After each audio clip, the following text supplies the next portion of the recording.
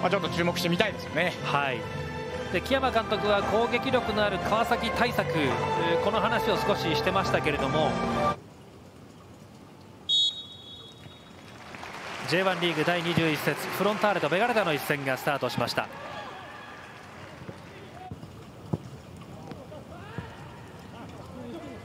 川崎の方はこう出し入れしながら。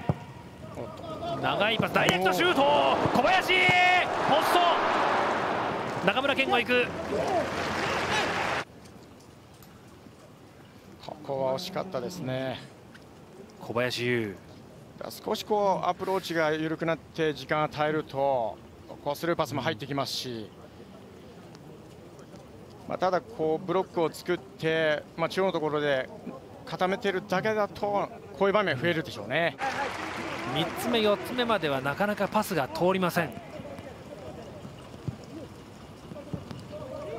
スペースを使ってきた小林優。ゴール見事です。フロンターレ先制。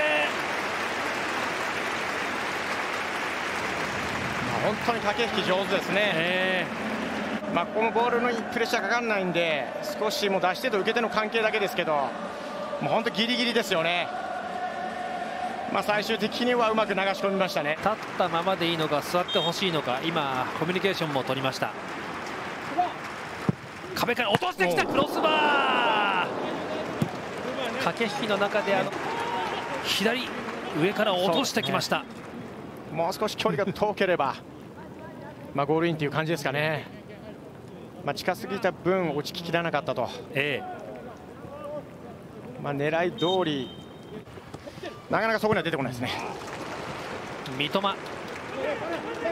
中に小林その前車屋を使うニアで小林。決定機でした。ポスト直撃。これ中村健吾。三笘。そして車屋ですかね。で背中のところから出てきましたね。これだけ深いところまで来られるとボールウォッチャーになりますし仙台の選手も中には枚数はいますけど、はい、中でゲデスファーサイド長澤が待っています。クロス中原長澤あお外で待ってました長澤のヘッド。下田北斗は柔らかいボールレアンドロ・ダミアン。試合終了1対0